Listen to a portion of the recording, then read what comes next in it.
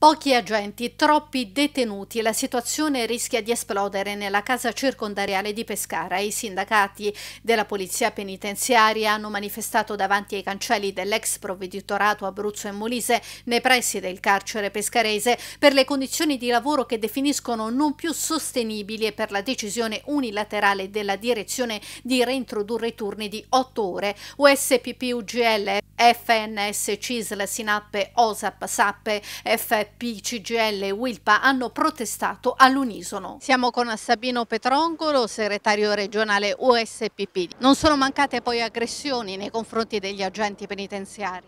No, no, le aggressioni non sono mancate, anzi ci sono molti di questi colleghi che ad oggi sono fuori ancora malati per queste aggressioni, ma il problema chiaramente è scaturito tutto dal fatto di questi eh, detenuti che sono psichiatrici e quindi sono eh, soggetti che eh, dovrebbero essere messi in sezioni controllate e, e chiaramente gestite da personale e da, sia infermieristico che, che, personale di polizia che comunque eh, adeguatamente formati. Già dicono i sindacati 400 detenuti a fronte dei 270 tollerabili, dei quali il 15% con problemi psichiatrici e dunque con la carenza d'organico difficili da gestire. La pianta organica è di oltre 160-167 e qui siamo di oltre il 40% al di sotto di quella che è la pianta organica.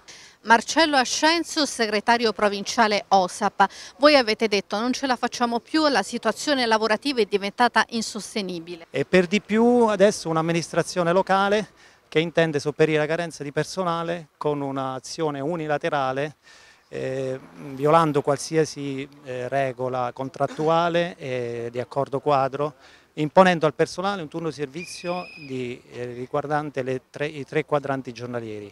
Otto ore in sostanza. Leoni Damaz, CGL FP, una situazione che rischia di esplodere? Eh sì, certamente rischia di esplodere. È chiaro che stiamo parlando di un carcere, non stiamo parlando di un asilo o di una scuola che già di per sé, stiamo parlando di un carcere con persone che hanno, come si dice, eh, molte non hanno niente da perdere, in situazioni drammatiche in cui vediamo eh, decine e decine di carcerati a fronte di un'unica agente di polizia penitenziaria in sorveglianza, può accadere di tutto. L'appello di Giuseppe Ninu, Sappe. Lo facciamo innanzitutto all'amministrazione centrale e soprattutto al provveditore regionale perché dimentica l'Abruzzo e dimentica gli istituti abruzzesi che versano in una situazione gravissima.